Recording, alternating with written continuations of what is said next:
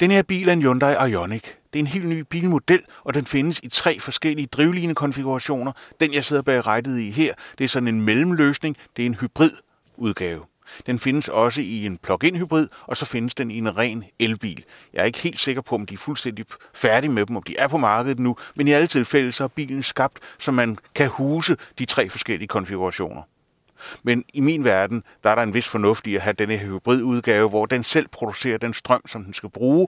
Når jeg sætter op i fart, så bruger den strømmen. Når jeg decelererer, når jeg bremser osv., så genererer den strøm, og så har den altså op til ja, et par 40 hestekræfter faktisk til sin rådighed fra elmotoren alene. Men derudover har den altså også en 105 hestes benzinmotor uden turbolader. Men øh, når elmotoren går ind og hjælper den der benzinmotor, så er det næsten som om, at man får sådan en turbotryk. Og det betyder altså, at I også kan accelerere fra 0 til 100 km i timen på lige knap 11 sekunder. Og det vil et eller andet sted meget godt af sådan en mellemstørrelse øh, hatchback. Men øh, nu skal I opleve, hvordan den fungerer. Den trykker på en startknap herinde. Hvis jeg kan finde den, der var den. Og så bliver der sagt velkommen, og så bekræfter jeg, at jeg overholder en hel masse forskellige ting, når jeg er ude at køre sådan. Og så sætter jeg i gear. Det er jo noget af det, som hører med i sådan en hybridbil, nemlig at man får her et 6-trins automatgear. Jamen, 6-trins automatgear. Hvis vi nu ser for eksempel på Toyota'erne, jamen, øhm, sådan. Øh, hvis vi ser på Toyota'erne, øh, så har de jo ikke et øh, 6-trins automatgear. Så har de øh, en CVT-gearkasse, et trinløst automatgear. Det er der nogle mennesker, der ikke er særlig begejstrede for. Her har man altså koblet elmotoren sammen med øh, automatgearkassen, så man har et regulært DCT-gear. Men øh, hvordan kører den så? Der er noget meget specielt ved den her bil, og derfor lægger vi nu ud på et stykke vej, ganske kort, som er utrolig ujævnt. Jeg tror, I kan se hullerne. Det er for ligesom at illustrere affjedringen for jer. Så, nu er vi ude på et stykke asfalt, det ser lidt mere fornuftigt ud. Men jeg vil gerne lige have, at I skulle få fornemmelsen af, hvordan affjedringen er i stand til at parere de der ujævnheder. På sådan en også tømmelig ujævn asfaltvej her, der oplever man jo ikke meget af de her ujævnheder. Det er jo en komfortabel bil, der er tale om. Den kører næsten 30 km på literen. Så hvorfor ikke, når man nu er ude at køre økonomisk rigtigt, så også gøre det lidt komfortabelt? Skal vi lige ramme de huller der også?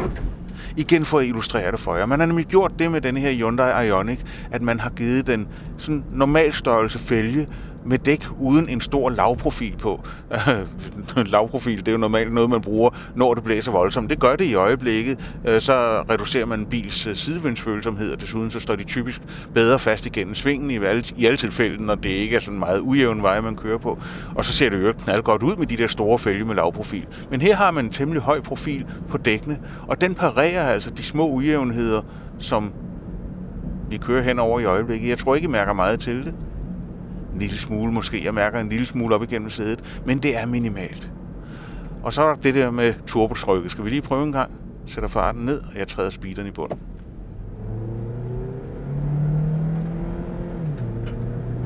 Sikke turbotryk fra en elmotor. Den har altså ingen turbolader. Det er ren elektricitet, som den øh, giver mig det der puff bag i med.